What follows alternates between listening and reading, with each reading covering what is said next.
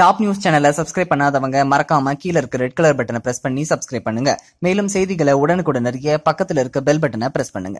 இரண்டாயிரத்தி பதினெட்டு புத்தாண்டு தினத்தில் புறப்பட்ட ஹவாயியன் விமானம் இரண்டாயிரத்தி பதினேழாம் ஆண்டு தரை இறங்கியமை அனைவரது கவனத்தையும் ஈர்த்துள்ளது.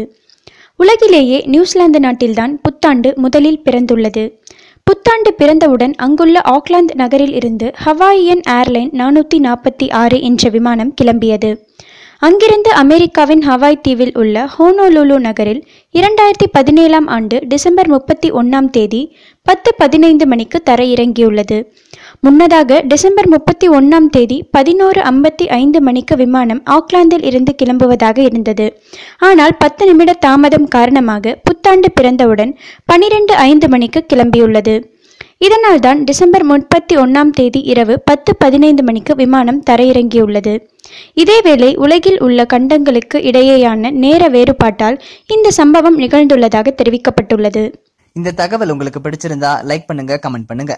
மறக்காம கீழே இருக்க ரெட் கலர் சப்ஸ்கிரைப் பட்டனை பிரஸ் பண்ணி டாப் நியூஸ் சேனலுக்கு சப்ஸ்கிரைப் பண்ணுங்க. நன்றி வணக்கம்.